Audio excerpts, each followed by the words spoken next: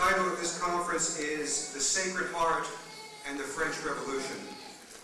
Um, and actually, this, this presentation actually could be called The Sacred Heart of Jesus, the divine force that could have prevented the French Revolution. Now, dealing with a topic like the Sacred Heart of Jesus is quite a humiliating experience. It's very humbling because there's such a wealth of information that could be covered because the history and the devotion itself is so rich that what I'm going to be giving here is really not even a brief sketch. You could spend your life studying uh, the Sacred Heart. But what I hope to be able to accomplish for all those who hear this is my goal is to try and take devotion to the Sacred Heart out of the humdrum existence that we've allowed it to fall into. Uh, what I mean is that for us, and especially for cradle Catholics, uh, devotion to the Sacred Heart is nothing new. It's been part of our Catholic furniture since we were children, and um, for many of us it's become commonplace. We have parishes named after the Sacred Heart, we have schools named after the Sacred Heart, we even have softball teams named after the Sacred Heart. And because it's so commonplace, we run the risk of forgetting that devotion to the Sacred Heart is one of the most important, most profound, and most preeminent of all Catholic devotions. So this talk is going to be really divided into three parts. First, I'm going to talk about the history of the devotion. Secondly, we're going to have a brief discussion of exactly what devotion to the Sacred Heart is. And third, we're going to discuss how the Sacred Heart could have prevented probably the greatest catastrophe of modern times, French Revolution. So, first for the history. On July 22nd, 1647, Margaret Mary Alacoque was born in an obscure village in Burgundy, France. And she was always a pious little girl, and by the age of nine, she was already attracted to the religious life. Years later, after many trials and difficulties, she entered the Visitation Convent in Paray-le-Monial on May 25th, 1671. She was 24 years old. Now, while in the convent, she emanated to a high degree every virtue that was proper to her state. But one of the most fascinating features of this early period is her ardent love of our Lord in the Blessed Sacrament. Her devotion to our Lord in the Blessed Sacrament was true, constant, and intense. It's one of the most striking features of her life, uh, of her biography, before the revelations of the Sacred Heart actually take place. And she would literally spend hours before the Blessed Sacrament on her knees, practically in an ecstatic state. Now, though there were a series of manifestations to St. Margaret Mary, the revelations concerning the Sacred Heart are usually summed up in three grand revelations. And this is, this is going to be quoted directly from St. Margaret Mary's own writings. The first revelation concerning the Sacred Heart took place on December 27, 1673, on the feast of St. John the Evangelist. Now, the fact that the first revelation took place on the feast of St. John the Evangelist is of utmost significance because, as we're going to explain in part two of this talk, the Sacred Heart is actually the symbol of Christ's love. First, St. John the Evangelist was the disciple that Jesus loved. Uh, that's how he's referred to in Scripture, and it was he who rested his head upon our Lord at the time of the Last Supper. Now, of course, we know that our loved all, our, our, Lord rather, loved all the disciples, but he obviously maintained a particular tenderness towards St. John. Second, it is in the Gospel of St. John where we meet the most striking verses of our Lord's love, and in particular, Greater love than this no, no man has, that he laid down his, life for his friends. And in John we read, God so loved the world that he gave his only begotten Son, that whoever will believe in him shall not perish, but have eternal life. Three, it was St. John who was the lone apostle at the time of the crucifixion, and who witnessed, he witnessed the opening of our Lord's side with the lance. And we know that uh, this lance that opened our Lord's side also pierced his sacred heart. And four, fourthly, it was St. John who appeared to St. Gertrude in the 13th century, and he predicted to St. Gertrude the establishment of devotion to the Sacred Heart. He said that this devotion was being reserved for subsequent, subsequent ages when the world, having grown cold, would have, will have need of it to rekindle his love. And now, on December 27, 1673, the world had become sufficiently cold, primarily due to the spread of Protestantism in Europe, and particularly Calvinism and Jansenism in France. Jansenism being a Catholic heresy. 1673, December 27th. And the, the world was about to become much colder when the first revelation of the Sacred Heart took place. Here's what St. Margaret Mary writes.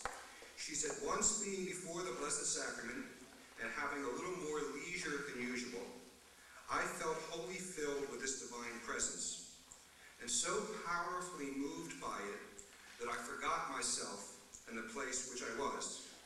I abandoned myself to this divine spirit and yielded my heart to the power of his love. He made me rest for a long time on his divine breast, where he revealed to me the wonders of his love and the inexplicable secrets of his sacred heart, which he had hitherto kept hidden from me. Now he opened it to me for the first time, but in a way so real, so sensible, that it left me no room for doubt, though I am always in dread of deceiving myself. Now the first message from our Lord was relatively short. Here's what our Lord said. Quote, My divine heart is so passionately in love with men that it can no longer contain within itself the flames of its ardent charity.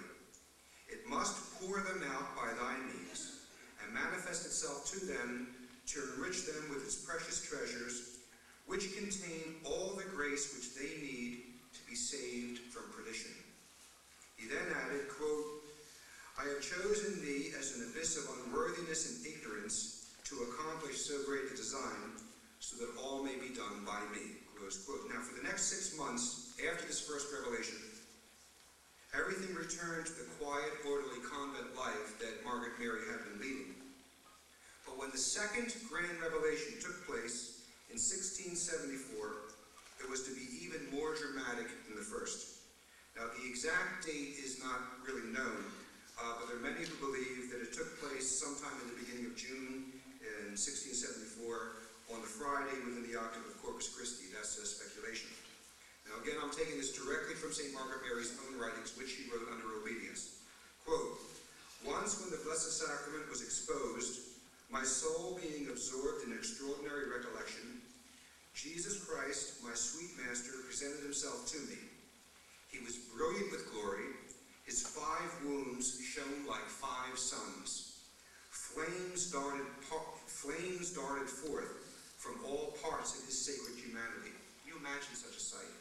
This is apocalyptic terminology. Flames darted forth from all parts of his sacred humanity, especially from his adorable breast, which resembled a furnace, and which opening displayed to me his loving and amiable heart, the living source of these flames. Close quote. Now, Margaret Mary was understandably trembling with emotion, and her eyes were riveted on him. She writes, He unfolded to me the inexplicable wounds of his pure love, and to what an excess he had carried it for the love of men, from whom he had received only ingratitude.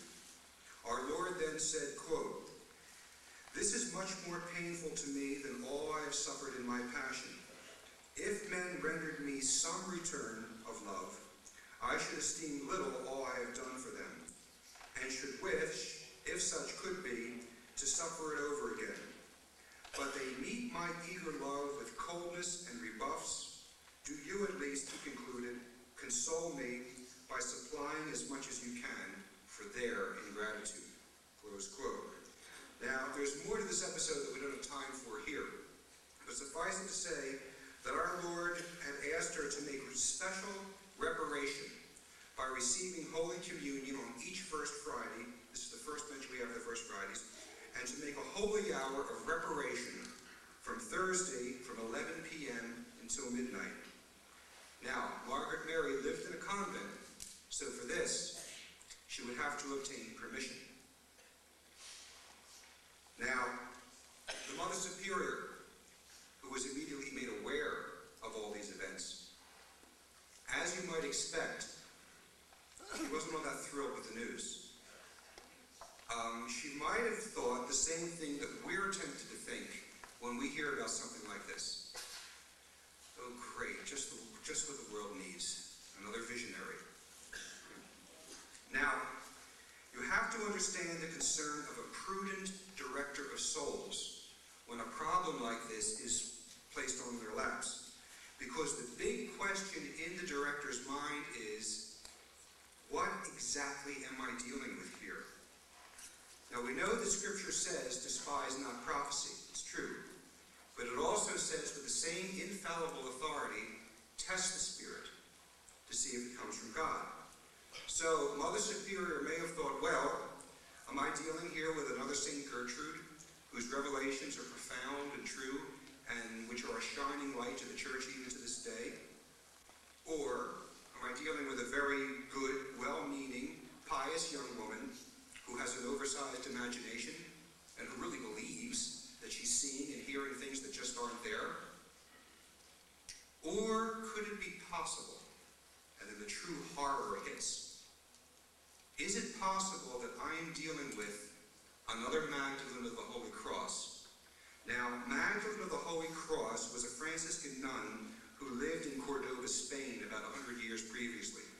She was a nun who had the stigmata, levitated, who manifested all sorts of mystical phenomena, who, when she received communion, the host would detach itself from the priest's hands and sail through the air and land on her tongue. She announced the defeat of the, and the imprisonment of Francis I by the Spanish army in Pavia way before news of the event uh, came to the town by normal messengers, who was venerated and consulted with by priests, bishops, and even emperors, and who, in a near-death confession, confessed that when she was a young shepherdess, she had sold her soul to the devil, so that in return he would give her power to perform prodigies. See, Magdalene of the Holy Cross, cross through cooperation of demonic, demonic forces, fooled practically the whole of Spain the 16th century for years. And now, Mother Superior says, here's another young nun, my care, my convent, claiming to have visions. What do I do? Now remember, we know the end of the Margaret Mary Sacred Heart story. Mother Superior didn't. And she alone was responsible for Sister Margaret's soul. So Mother Superior is going to have to rely on prayer, her learning, her own wits, and the counsel of others in whom she has confidence. Well, her learned counselors said exactly what you would expect them to say. They said that it's probably not God, that the whole thing is most likely the result of a, of a pious and vigorous imagination, and we can't rule out evil either, either the possibility of a skillful demonic deception. Now, Mother, Margaret Mary, understandably, was heartbroken. She was condemned by her superior, condemned by her confessor. But during these difficulties, our Lord did comfort her. She seemed to hear our Lord say, Have patience and wait for my servant. And to make a very long story short, it was eventually St. Claude de Colombière who would come to the convent in order to give some spiritual conferences to the nuns. He would meet and speak with Sister Margaret Mary. And this good priest would become the, the primary instrument of assuring St. Margaret Mary, and many others as well, the genuineness of the, of the, of the revelations of the Sacred Heart. And he would also, uh, Claude de Colombière would also become one of its most zealous propagators up until the time of his early death. Uh, though he died in, in, France, his death was brought on uh, prematurely by some brutal treatment he had received in Britain uh, at the hands of the Protestants there. Now, what is called the last grand revelation took place on June 16th, 1675. And this is when St. Margaret Mary was invested with a grand public mission. It was during the octave of the Feast of the Blessed Sacrament that Margaret Mary was on her knees in front of the choir grate, her eyes again always fixed on the tabernacle. Suddenly our Lord appeared at the altar and revealed his sacred heart. Here's what our Lord said. He said, Behold this heart which has loved men so much that it has spared nothing, even to exhausting and consuming itself. in order to testify to its love. Yet in return I receive from the greater part only ingratitude, by their irreverence, sacrilege, and by the coldness and contempt they exhibit me in this sacrament of love, in other words, the Blessed Sacrament. And what is most painful to me, he added, is that there are hearts consecrated to me. Then he commanded her to have established in the church a particular feast in honor of his sacred heart. Quote, I desire, therefore, that the first Friday after the octave of the Blessed Sacrament be observed in a special manner as the feast of my heart, by receiving Holy Communion on that day and making reparation for the indignity that it has received. I promise that my heart shall bestow its love abundantly on those who will render me this honor or who will cause the same to be rendered by others. Now, 14 years later, in 1689, there was another startling revelation made to St. Margaret Mary, the consequences of which we are still living through this, to this day. But we'll return to that a little later on. Now, it's not the purpose of this presentation to give a detailed account, a detailed account of the ins and outs of how devotion to the Sacred Heart and the Feast of the Sacred Heart was finally approved. Just to suffice it to say that anything our Lord wills will eventually come to be. In 1765, Pope Clement XIII gave approval to an office and Mass in honor of the Sacred Heart of Jesus, and devotion to the Sacred Heart spread rapidly. The Venerable Pope Pius IX extended the feast to the whole Church, and Pope Leo XIII consecrated the entire human race to the Sacred Heart of Jesus in June of 1899. He considered this one act to be the most important act of his pontificate. But now, on a more personal level, I want to deal with the question exactly what is devotion to the Sacred Heart? Well, first of all, it should be noted that devotion to the Sacred Heart didn't really start with St. Margaret Mary. Its history goes back to the earliest devotions of our Lord, uh, the, the devotion of his five holy wounds. It goes right back to there. Because the lance that I said earlier, the lance that opened our Lord's side, also pierced his sacred heart. And this devotion in kernel form has been with the church from the very beginning. We see it in the writings of St. Bernard, St. Gertrude, St. Francis de Sales, and primarily in its most enthusiastic supporter, St. John Eudes. You just heard St. John Eudes quoted by Cornelia. But that's just the history. What we want to find out is what exactly is devotion to the Sacred Heart? Now, because this sort of question should only be answered by someone who is a true master of the spiritual life, I'm going to answer it by quoting to you um, from one of the greatest masters of the spiritual life of the 20th century. I quoted him earlier this, this week. The great Benedictine abbot Marmion, who died on January 30th, 1923. His books, as I said, Pope Benedict XV, of his works, Saint ben- uh, Pope Benedict XV said, Read it, it is the pure doctrine of the church.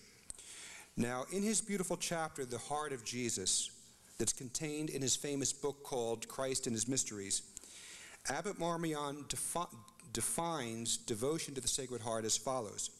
He says, quote, Devotion to the Sacred Heart is devotion to the divine person himself, manifesting his love for us and showing us his heart as a symbol of that love. I want to say that again. Devotion to the Sacred Heart is devotion to the divine person himself, manifesting his love for us and showing us his heart as a symbol of that love. Now, we're going to explain this following the outline of uh, Abbot Marmion by answering three basic questions. Three questions, incidentally, you're going to see each one of them that contain the exact same answer. First, what is the one outstanding perfection that shines forth in all of Christ's mysteries? Answer it is love. Second, from another aspect, what is the one driving force of all the apostles, and particularly that of St. Paul? The answer again is love. And thirdly, what is the one primary element that all the, the devotions to the person of Jesus Christ have in common? Answer again is love. Now he goes on to explain what he means. First point the one outstanding perfection that shines forth in all of Christ's mysteries is love. And on this point, Abbot Marmion says that it was love that brought forth the mystery of the incarnation, that it was love that caused Christ to be born of weak, passible flesh. It was love that inspired the hidden life of Nazareth, and love that nourished, that nourished the zeal of his public life. See, all this was done by Christ for love of his Father and also for love of us. It was love that caused Christ to deliver himself up to the horrendous torture and crucifixion and humiliating death. When Christ rose for the dead, from the dead, it was out of love for us, for our justification, as Scripture says, and as the one outstanding proof that we have for life beyond the grave. When Christ ascends into heaven, it is to prepare a place, uh, place for us, again, actions motivated by love. It was love that caused Christ to send us the Holy Ghost so as not to leave us orphans.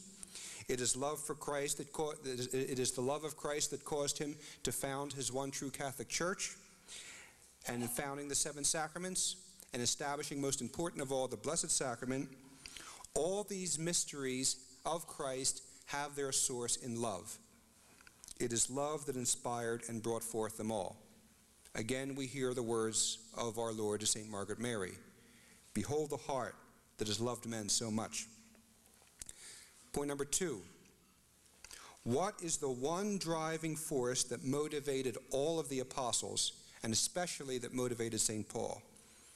Answer again it is love.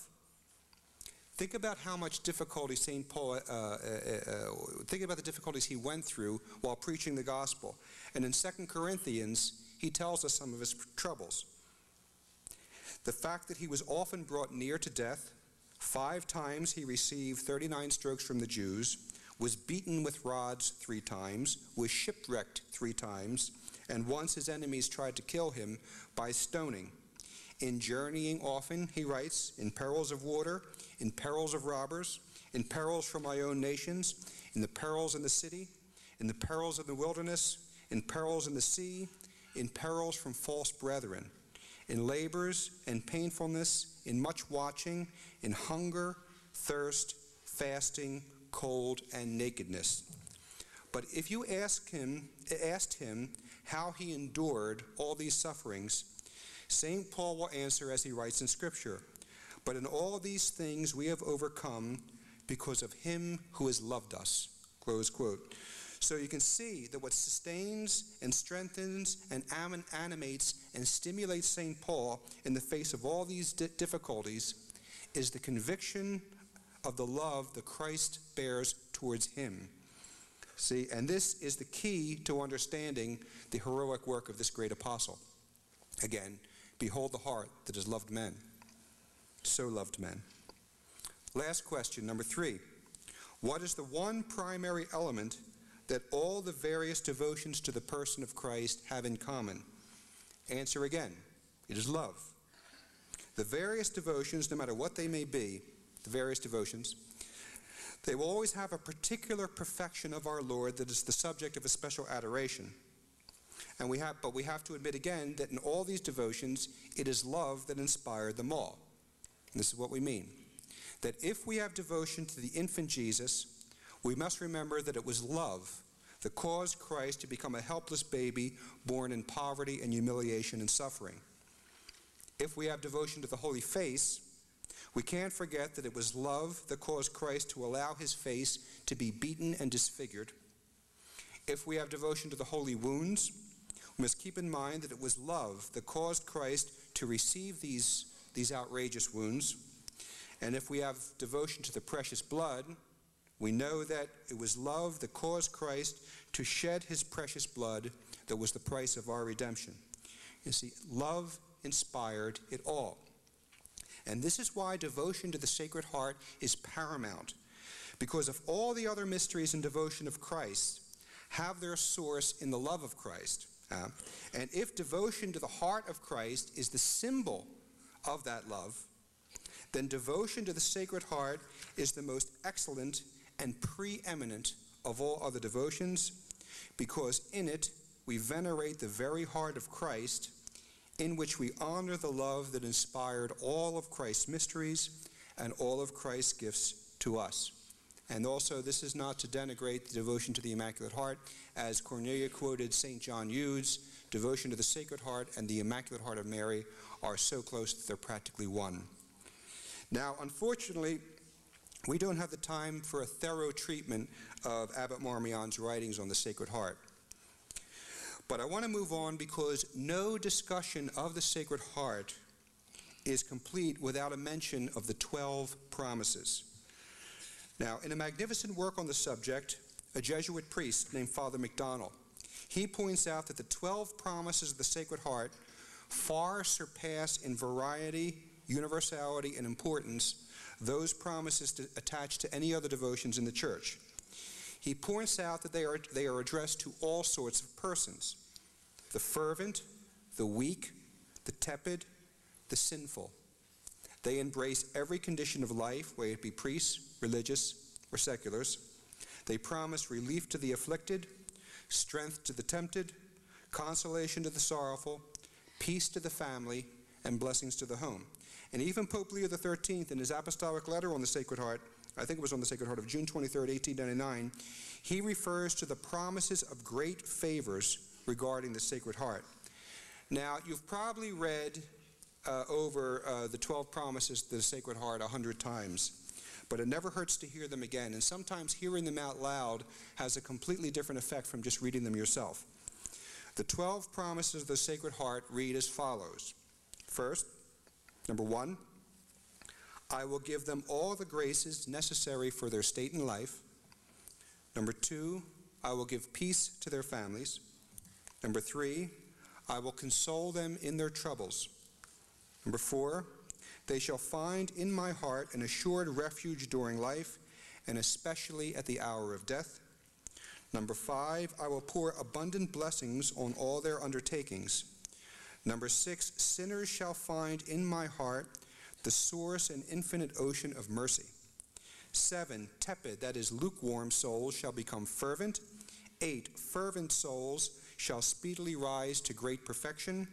Number nine, I will bless homes in which the image of my sacred heart shall be exposed and honors, honored. Uh, no home really should be without an image of the Sacred Heart.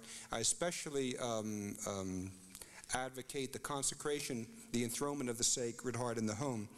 And uh, it's interesting that in his great encyclical on the kingship of Christ, uh, Quas Primas, Pope Pius XI urged Catholics to practice this enthronement of the Sacred Heart in their homes. So we see that the Pope teaches that the kingship of Christ in society and the, uh, the, king, and the, the devotion to the Sacred Heart are inseparably linked. Anyway, number 10, I will give priests, I will give to priests the power to touch the most hardened hearts. 11, those who propagate this devotion shall have their name written in my heart, and it shall never be effaced. Number 12, I promise thee in the excess of my mercy, of the mercy of my heart, that his all powerful love will grant to all those who receive communion on the first Friday of every month for nine consecutive months the grace of final repentance. They shall not die under my displeasure, nor without receiving their sacraments, and that my heart shall be their secure refuge at the last hour. Close quote. Now, along with the 12 promises, there was another promise that was contained in one last grand revelation of the Sacred Heart to St. Margaret, St. Margaret Mary in 1689. And this one last revelation, I think, beyond the shadow of all doubt, uh, shows and demonstrates the power as well as the authenticity of devotion to the Sacred Heart.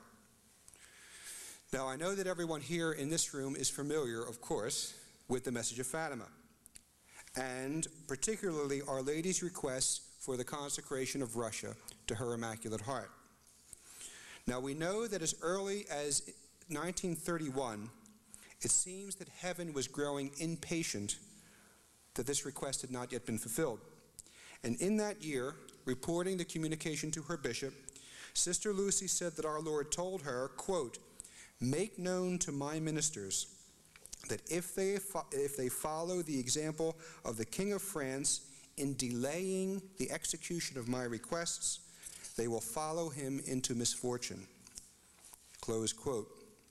Five years later, Sister Lucy would write, quote, Our Lord complainingly said to me, They did not want to heed my requests. Like the King of France, they will repent and do so, but it will be late. Russia will have already spread her errors throughout the world, causing wars and, per- and persecutions of the church. The Holy Father will have much to suffer. Close quote. Like a good parent, our, uh, a good parent always follows through with its rewards, but also a good parent always follows through with its threats. And our Lord is reminding uh, his ministers that just as the King of France uh, suffered for delaying the request, so too in our own time.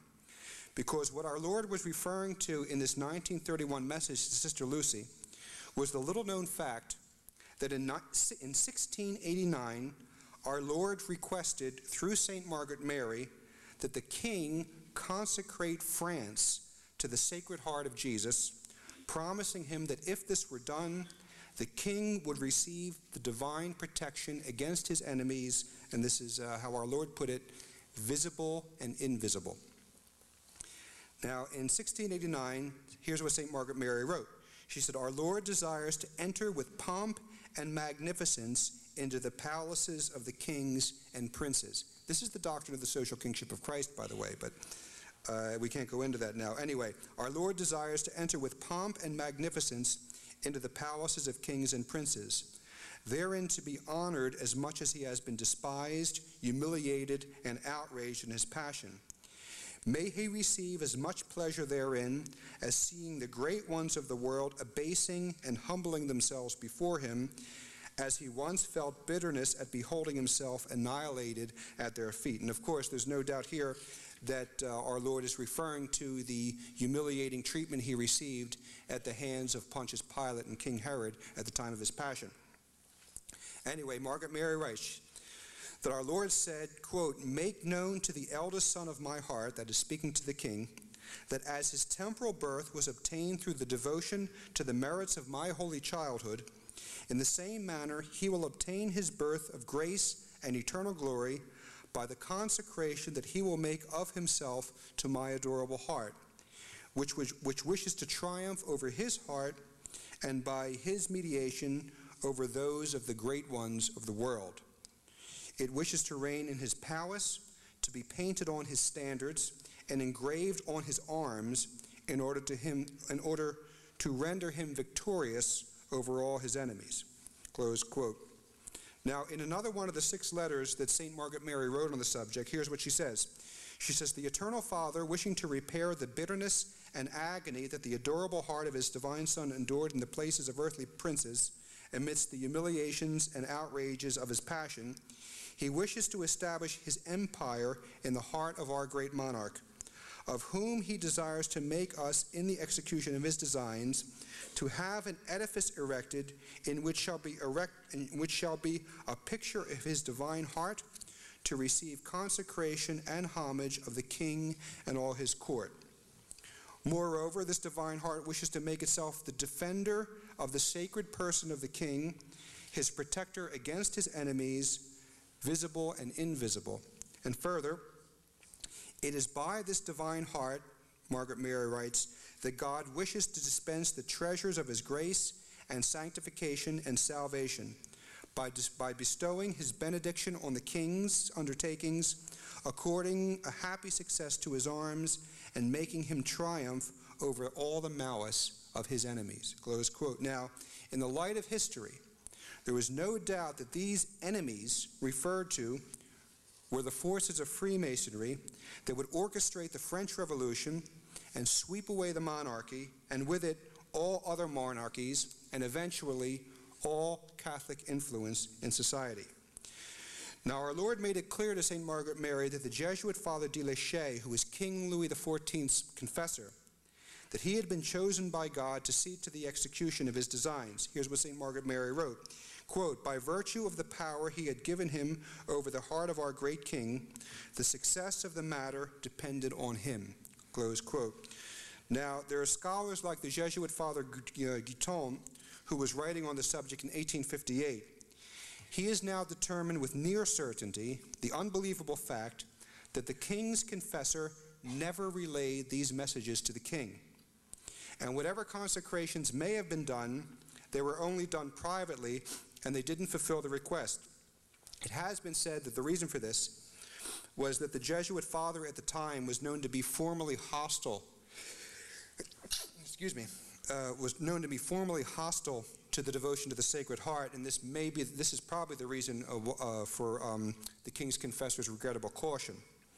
But there is a tradition of the French visitation nuns that holds for certain that Louis XIV did learn the desires of the Sacred Heart through other channels.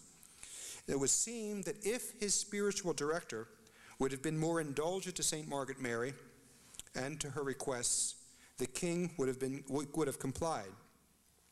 The fact is, is that the king did not fulfill this request in 1689, and neither did any of his successors. As a consequence, the king and his descendants did not receive the divine protection granted by our Lord.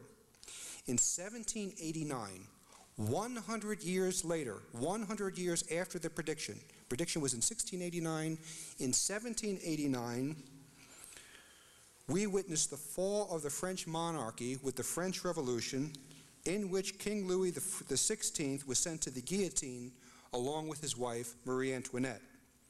Our Lord is still waiting for the consecration of France to his Sacred Heart, a consecration that would have protected the king from his enemies and thus would have prevented the French Revolution. Now, this is, is actually is, is of utmost significance because the French Revolution was not just a French revolution, uh, as if the revolution in that country had no ramification beyond French boundaries. Those who inaugurated it knew very well what they were doing, and they knew exactly what they were fighting against. The revolution of 1789 was actually a revolution against the divine plan for order in society and a declaration against uh, and a declaration of war against Christ, his church, and Christian civilization. Now, you have to understand that a true Catholic king knows his catechism. If you would ask a, a true Catholic king, who made you? The king would say, God made me. If you asked him, Sire, why did God make you? His Majesty would answer the same way that a seven year old peasant would answer God made me to know, love, and serve him in this world so as to be happy with him forever in the next. If you would ask him, From whom do we learn to know, love, and serve God? the king would reply, From Jesus Christ, the Son of God, who teaches us through the Catholic Church. If you asked him, Sire, who do you rule over? the king would say, I rule over men. If you asked him, What is man? he would answer, as the Catechism answers Man is a creature made in the image and likeness of God, composed of body and soul. See, the point I'm getting at is, is that a true Catholic king will govern his realm with the truths of the faith firmly in his mind and his heart. And as, and as a result, the king will base his laws of right and wrong, hopefully, on what the gospel teaches as right and wrong, and on what the church teaches is right and wrong. He will have a society in which the laws of God and the laws of government are in perfect harmony. Now, this is what we call, of course, Christendom or Christian civilization. And that is why I said that these forces of organized naturalism who orchestrated the French Revolution were not so much warring against the person of Louis XVI but against Christian civilization altogether, because it is the self proclaimed goal of these forces, namely Freemasonry, it is their self proclaimed goal to lift civilization off of its Christian foundation and place it on one of pure naturalism in which God has no place. If anyone wants uh, more reading on this, read Pope Leo XIII's encyclical Humanum Genus. There's some available in the store on Freemasonry. It spells it out completely. Now, St. Thomas Aquinas teaches that the primary sin of the devil, which condemned him to hell without recourse, is that he, the devil, he wanted to be the source of his own happiness, independent from God. And St. Thomas Aquinas also teaches that this was the primary sin of Adam and Eve, that in pursuing that which was forbidden, they wanted to be the grantors of their own happiness, independent from God. So we can see a perfect parallel in the forces behind the French Revolution because it, it, bases, its it bases its revolution on a false compassion. The false compassion of liberty, equality, and fraternity, as if Christ and his, and his holy church were enemies of liberty, adversaries of equality, and opponents of true fraternity. These men want the brotherhood of men without the fatherhood of God. They want the rights of men without the rights of God. And like the devil, they think they can be grantors of their own happiness and build a social utopia by warring against Christ and his divine plan for order. It is no wonder then, as Father Denis Fahey reports, that the devil, speaking through the possessed children of Illfurt in an exorcism that took place in mid-19th century, the devils, speaking through these children, said, Long live liberty, equality, and fraternity. That is the favorable time for us. The effects of the destruction of Christian civilization caused primarily uh, the breaking of Christendom that started with the Protestant revolt, and more completely by the French Revolution, can be seen in today's widespread liberalism and religious indifferentism, in which our modern social order boasts as if it's something to be proud of. We see it all around us.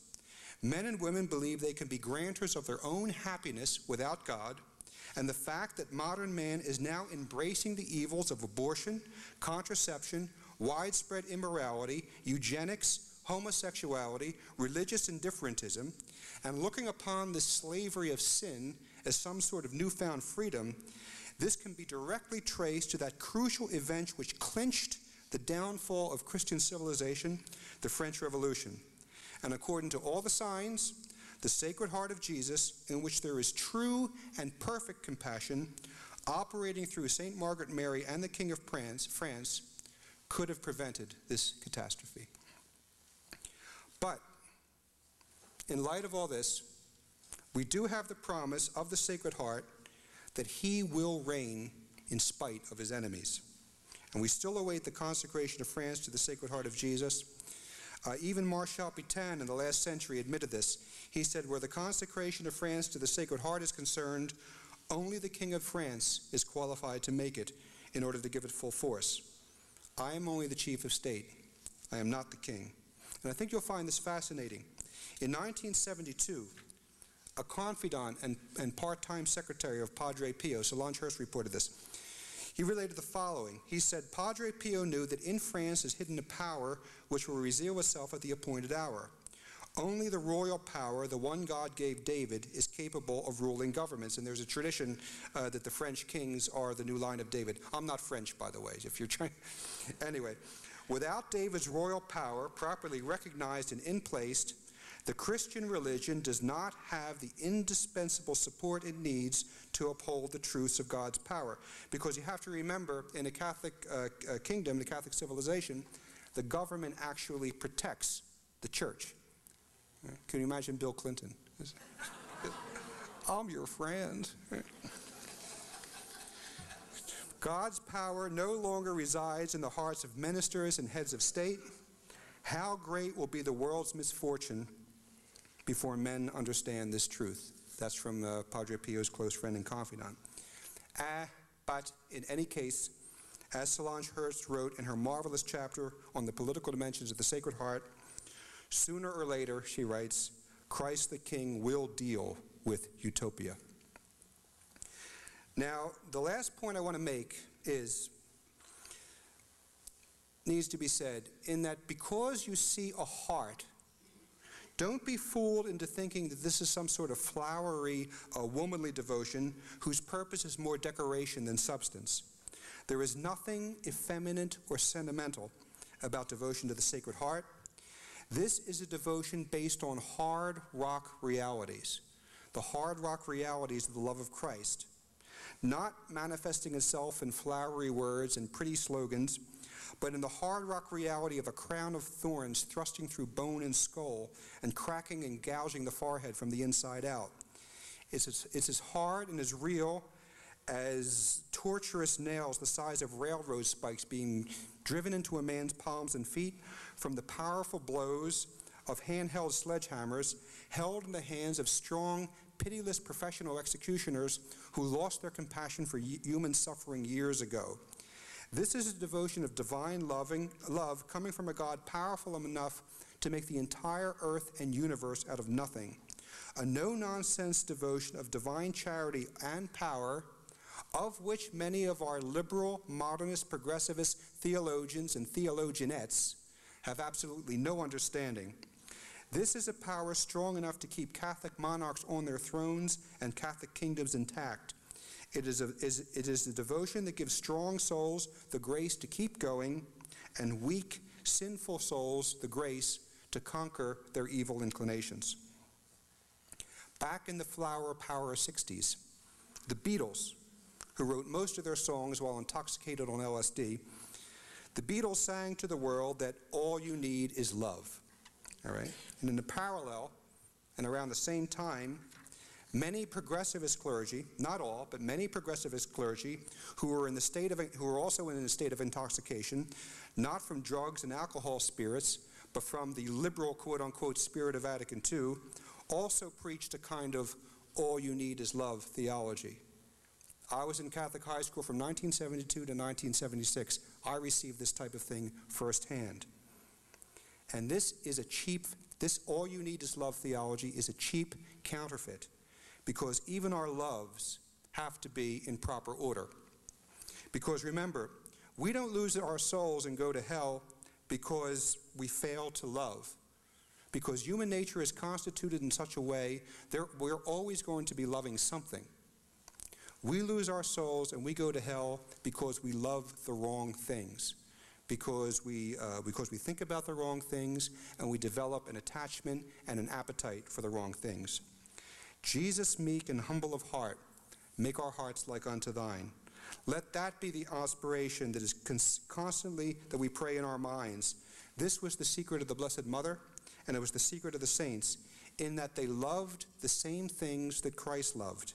And because of this, they developed a true and heaven sent hunger for pursuing the right things, doing good, avoiding evil, uh, and growing in grace despite the difficulties encountered. The Sacred Heart of Jesus, joined with devotion to the Immaculate Heart of Mary that God wants to establish in the world, is the preeminent devotion capable of giving our weak, cowardly souls the strength and the courage and the drive for accomplishing this. We must read the 12 promises of the Sacred Heart and believe in them. Jesus, meek and humble of heart, make our hearts like unto thine. Thank you for your attention.